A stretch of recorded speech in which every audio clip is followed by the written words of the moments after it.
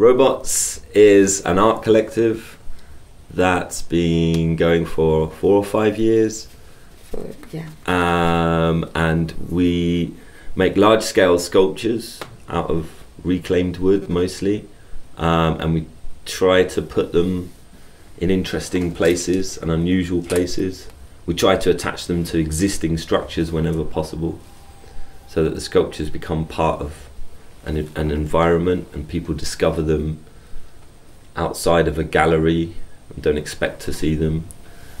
Yeah, the actual formula to build something is very simple and doesn't require, as Lisa doesn't require too many tools or too many um, processes that you need experience in carpentry for. But the installation is sort of a lot of luck. And none And- of us, sorry, No, it's all right. Carry on. say none, none of us have come from uh, uh, a car- carpentry background. We're all self-taught, um, and most of us have, have honed whatever skills we have from being part of this collective and learning as we go. And I think to some degree, without having a great deal of knowledge, um, you know, we've stumbled upon things with a different approach. Um, so although they might be quite sim- simple and naive, um, you know, we come up with a different way of of, of approaching wood and uh, and what we make from it. So yeah, lots of happy accidents.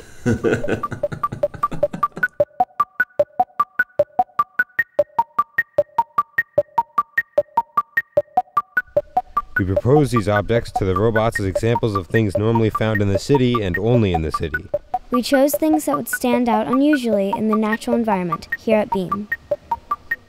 The objects, we, we simplified them so they're, they're broken down into really kind of basic polygonal shapes, very much in the way a computer um, or even like a video game tries to represent an organic shape. It'll have to construct it out of facets and, and, and polygons. And so we kind of we've done that to these objects purposefully, and then we're going to paint them a, really bright color. And we decided to use the CMYK color system for that and kind of copy those colors uh, because they're, they're good colors um, and, it, and it's sticking with our concept, but they're, they're going to really oppose all the greens, especially the magenta.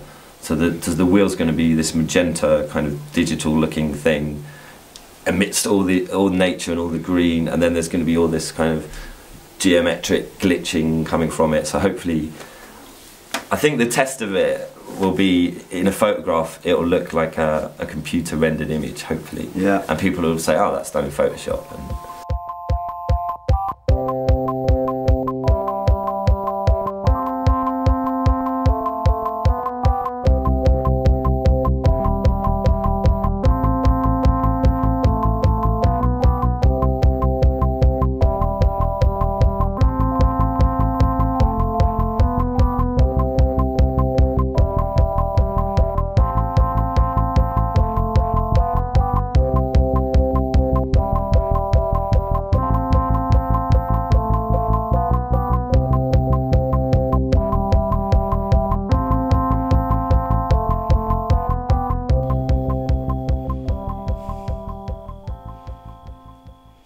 the tea kettle is really cool because, as Nathaniel said, it's not something you would normally expect to find, and I really like the coloration because blue is kind of like one of my favorite colors, and it's really interesting against all the green and brown.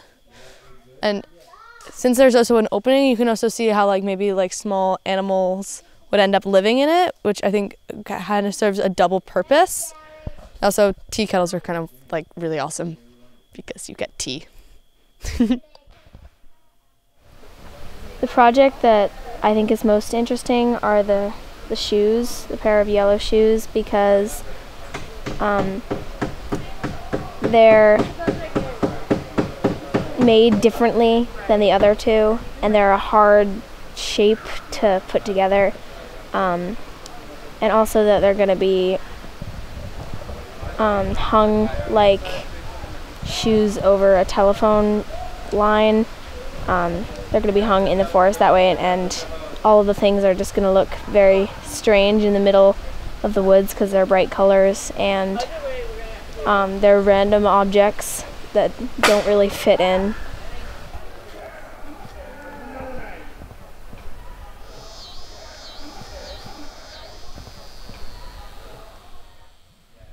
I think the wheel is really cool and unique because, first of all, it's really big, and it's really interesting how we use reclaimed wood to um, to make the surroundings of the wheel.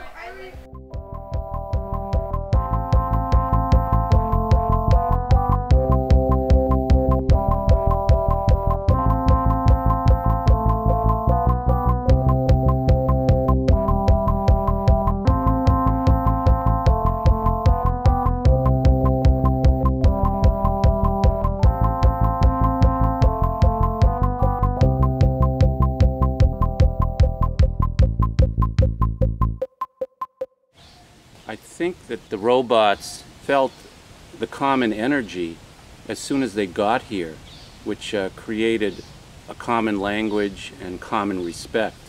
Because um, the way I see it is that uh, Beam itself, with the campers and everyone involved in building our projects, use the same energy that they do. Um, they have enormous energy and create challenges for them that are even beyond their own abilities when they go into something. But they work hard and they believe that they're going to do it. And um, it's very much like what we do. And that allowed us to really collaborate with respect. Beam Camp was an amazing experience for us, and especially me personally. And I felt that it was a completely new way of working for us in a really exciting way. And I just hope that the kids learn as much as we did throughout this experience.